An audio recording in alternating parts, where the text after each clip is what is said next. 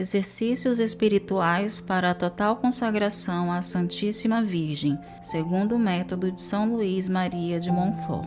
Primeira semana: Conhecimento de si mesmo. Décimo terceiro dia. Oração. Vinde ao Santo Espírito, as nossas almas visitai. Enchei nossos corações com vossa graça divinal. Vós sois chamado intercessor o dom de Deus Altíssimo, a fonte viva, o fogo, o amor e a espiritual unção. Sois doador dos sete dons e sois poder na mão do Pai. Por este transmitido a nós, enriqueceis a nossa voz. Iluminai nosso entender, em nós vertei o vosso amor. Com vossa graça eternal, o fraco em nós robustecei. Nosso inimigo repeli, e dai-nos logo a vossa paz e tendo um guia como vós, evitaremos todo mal. Fazei-nos conhecer o Pai, e o Filho revelai também, e que de ambos procedeis, fazei-nos firmemente crer. Glorifiquemos a Deus Pai e ao Filho que ressuscitou, e ao Espírito de Deus, por todo sempre. Amém. Enviai, Senhor, o vosso Espírito, e tudo será criado, e renovareis a face da terra. Oremos. Ó Deus, que instruístes os corações dos vossos fiéis com a luz do Espírito Santo, concedei-nos que no mesmo Espírito conheçamos o que é reto e gozemos sempre das suas consolações por Cristo nosso Senhor. Amém. O Senhor esteja conosco, Ele está no meio de nós. Proclamação do Evangelho de Jesus Cristo segundo Mateus, capítulo 3, versículos de 1 a 12. Naqueles dias, apareceu João Batista, proclamando no deserto da Judéia: Arrependei-vos, pois o reino dos céus está próximo. É dele, com efeito, que foi dito por meio do profeta Isaías: Voz de quem grita no deserto: Preparai o caminho do Senhor, endireitai as suas veredas. João usava roupa de peles de camelo e um cinto de couro na cintura e alimentava-se com gafanhotos e mel silvestre. Então acorriam até ele Jerusalém e toda a Judéia e toda a região do Jordão. E, confessando os seus pecados, eram por ele batizados no rio Jordão. Quando viu que muitos dentre os fariseus e os saduceus vinham para serem por ele batizados, João lhes disse: Crias de víboras, quem vos ensinou a fugir da ira que está para chegar? Produzi, pois, fruto digno de vosso arrependimento. Não vos contenteis em dizer a vós mesmos: Nosso pai é Abraão. Pois eu vos digo que, destas pedras, Deus pode suscitar filhos a Abraão. O machado já está posto à raiz das árvores, e toda árvore que não der bom fruto será cortada e lançada ao fogo. Eu vos batizo com água, como sinal de arrependimento, mas o que vem depois de mim é mais forte do que eu. Eu nem sou digno de carregar suas sandálias. Ele vos batizará com o Espírito Santo e com fogo. Ele está com a pá em sua mão e vai limpar a eira. O trigo ele o guardará no celeiro, mas a palha ele a queimará num fogo que não se apaga. Palavra da salvação. Glória a vós, Senhor. Meditação: O pecado na nossa vida espiritual. Não ofendam mais a Deus nosso Senhor, que já está muito ofendido. Virgem de Fátima, a 13 de outubro de 1917. Ainda que os pecados das almas fossem negros como a noite, quando um pecador se converte à minha misericórdia, presta-me a maior glória e torna-se honra da minha paixão. Santa Faustina, Diário, número 370. Foi imensa a onipotência e doçura da sabedoria eterna, que é Deus, na criação do homem, sua obra-prima, fazendo-o à imagem da sua beleza e perfeição.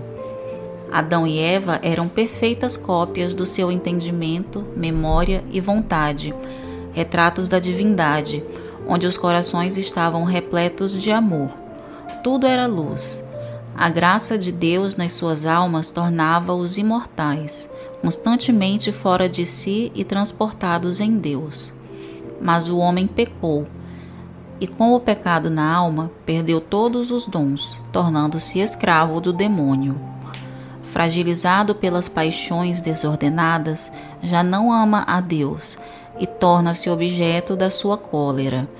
Expulso do paraíso, vai levar uma vida amaldiçoada. Ó oh, infeliz estado! Entretanto, Deus, na sua infinita misericórdia, entrega o seu Filho único para nossa salvação. O Verbo fez-se carne para assim destruir a escravidão do pecado. Professor Felipe Aquino, Pecados e Virtudes Capitais. Agora, só com a graça sobrenatural do batismo é que recobramos a nobreza da participação na linhagem divina, mas, esquecendo-nos dela, através dos pecados atuais, entramos novamente num processo de degeneração. Como poderemos caminhar rumo à eternidade em meio a tantas revoltas interiores do mundo e do maligno? É-nos muito necessário conhecermos a nossa miséria, cultivarmos a virtude da humildade, renunciarmos a nós mesmos e, dentre todas as devoções a Nossa Senhora, escolhermos viver aquela que melhor e mais perfeitamente nos leve à morte da vontade própria, deixando Cristo viver em nós e assim alcançarmos a salvação. Por conseguinte, colocaremos em prática, com a ajuda materna da Rainha dos Corações, aquela máxima de Jesus Cristo: quem quiser seguir-me, renuncie a si mesmo, tome a sua cruz e siga-me. Mateus 16, 24. Reflitamos sobre o que afirmamos parte por parte. Primeiramente, reconheçamos os nossos pecados e a consequência deles na vida espiritual.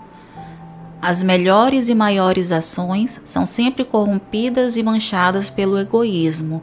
Para melhor compreensão, notemos que Deus introduz nos corações que foram pervertidos pelo pecado original e atual as suas graças, os seus dons, o seu amor. E estes são maculados pelo mal fundo que existe em todos nós.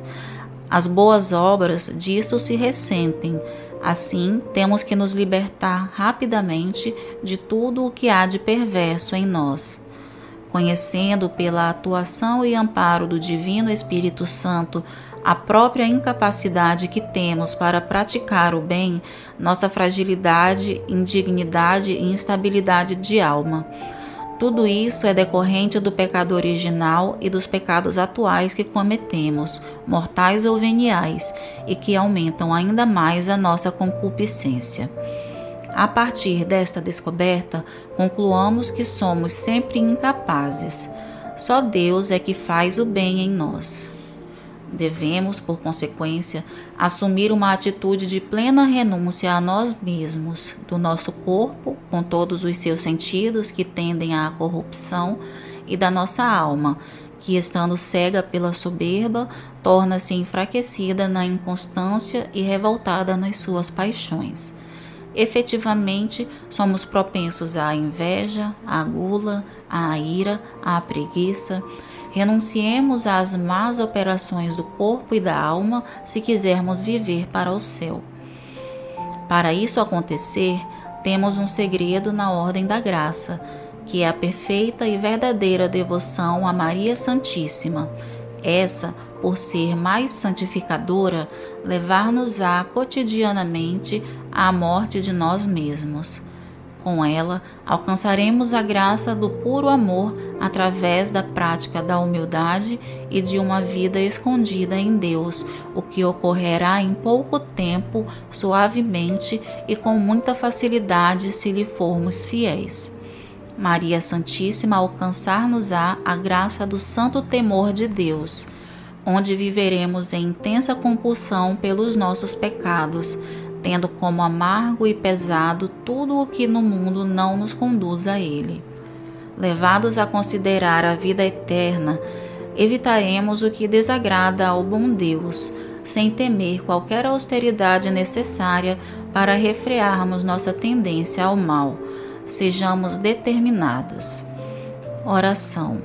Mãe Imaculada, temos os olhos cheios de lágrimas de dor, de contrição e vergonha pelos nossos pecados, mas a vossa bondade cuida de nós. Tornai-nos puros aos olhos de Jesus, inteiramente despojados de nós mesmos e ordenados com a vossa beleza. Aceitamos o vosso auxílio para que, renunciando a todas as nossas misérias, possamos revestir-nos das riquezas de Jesus Cristo. Amém. Jaculatória. Virgem Puríssima, libertai-nos das culpas, revestindo-nos das vossas virtudes. Saudação a Nossa Senhora. Ave sempre bela, ó Virgem Mãe de Deus, do alto mar estrela, porta azul dos céus, novas o anjo traz, ave te saúda, funda-nos na paz, de Eva o nome muda. Mansidão, pureza, ó Virgem sem igual, dá-nos com presteza e livra-nos do mal. Quebra a algema ao réu e dá aos cegos luz. Dá-nos, Mãe do céu, o que ao céu conduz. Mostra seres mãe, faz a nós descer quem por nós nascido quis de ti nascer. Dá-nos vida pura, um caminho certo para quem procura ver Jesus de perto. Seja ao Pai louvor, ao Cristo também, ao Consolador igualmente. Amém.